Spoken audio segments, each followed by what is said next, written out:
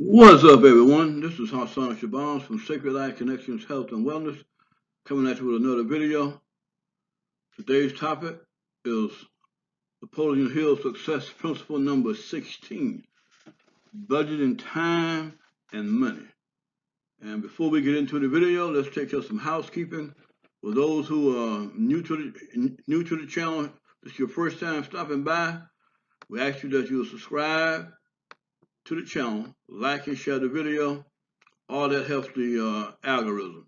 And if you've been here many times, still like and share the video. And if you haven't subscribed and you've been here many times, hit that subscribe button. Give me a thumbs up.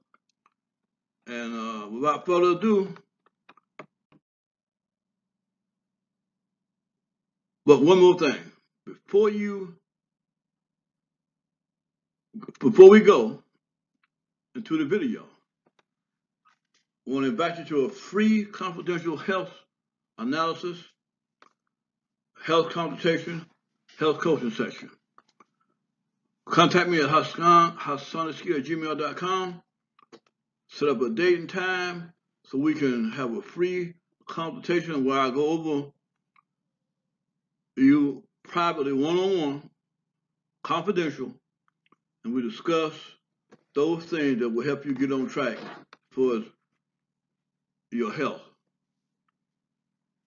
So if you need a coach, you need to, uh, need, you need coaching, you need um, consultation on on your primary and secondary foods, and understanding what that means and what that is, contact us at hotsunskillgmail.com, and we'll be more than glad to uh, set up a free confidential health coaching session. So now let's go into the video. As we said, the title is Napoleon Hill Success Principle number 16, Budgeting Time and Money. And these, are, there are 17 success principles. We got one more, after this we'll have one more success principle that we're going to talk about. These success principles can be found in the book Think Grow Rich.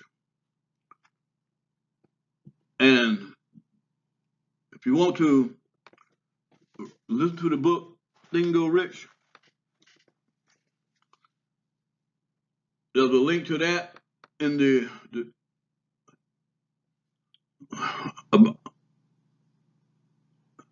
in the bottom at the bottom of this video we have a link to that we have uh, Napoleon Hill's Think and Grow Rich 1934 edition, which is the original edition. So feel free to check that out to learn more about the success principle. He goes more in depth about the success principle in the book Think and Grow Rich. So let's look at budgeting time and money. Napoleon Hill states effectiveness in human endeavor calls for the organized budgeting of time. For the average man, the 24 hours of each day should be divided as follows. 8 hours for sleep, 8 hours for work, 8 hours for recreation and spare time. The successful person budgets time, income, and, and expenditures, living within his means. The failure squanders time and income with a contemptuous disregard for their value.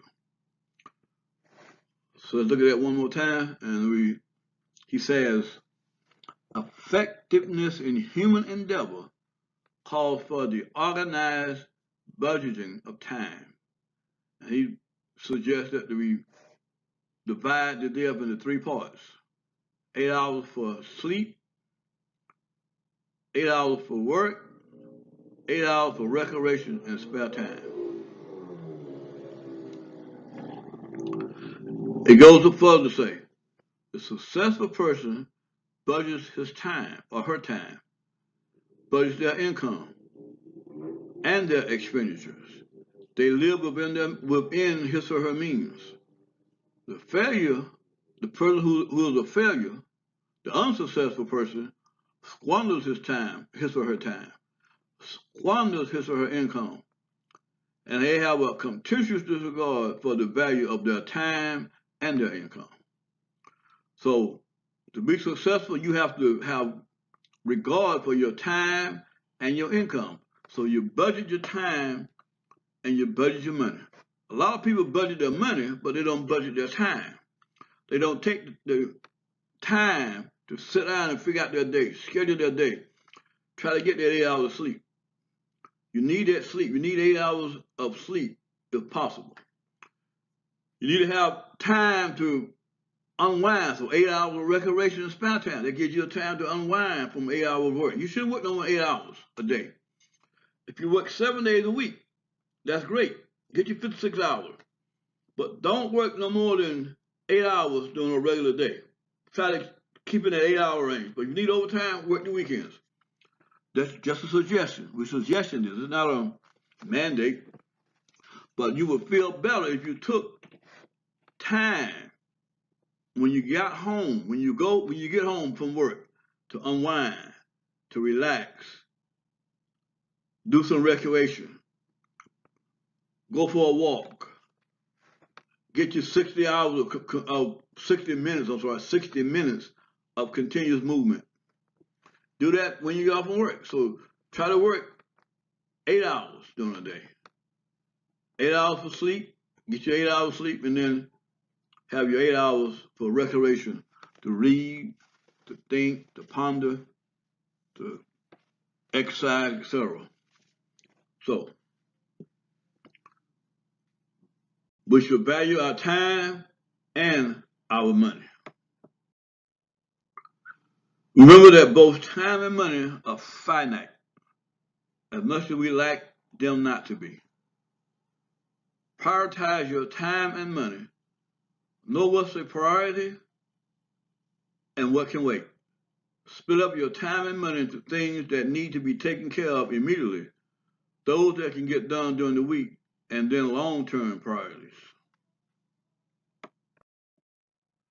Time management is the process of organizing and planning how to divide your time between specific activities. Good time management enables you to work smarter, not harder, so that you can get more done in less time, even when time is tight and pressures are high.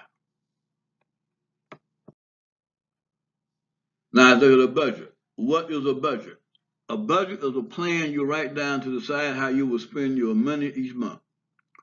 A budget helps you make sure you will have enough money every month. Without a budget, you might run out of money before your next paycheck. A budget shows you how much money you can make, uh, sorry, how much money you make, how you spend your money. Now, the question is, why do I want a budget? You want a budget because a budget helps you decide what you must spend your money on. You can spend less money on some things and more on other things. A budget helps you decide that. For example, your budget might show that you can spend $100 on clothes every month. You might decide you can spend $50 on clothes. You can use the rest of the money to pay bills or to save for something else. So a budget helps you decide what you can spend your money on and how much you can spend on items. So remember that a budget is needed because time and money are finite. I mean, there's only there's a limited amount of time. You don't have you don't have all the time in the world.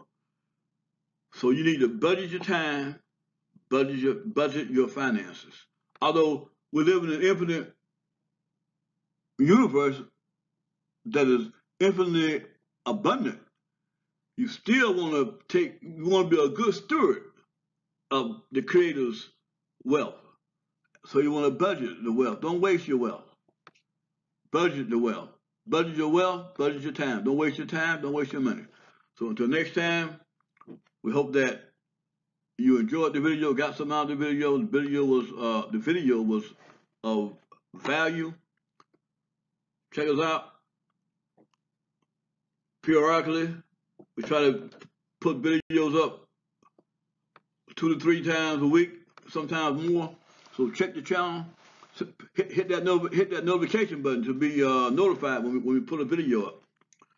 So subscribe, like, and share. Until next time, we're out. Peace.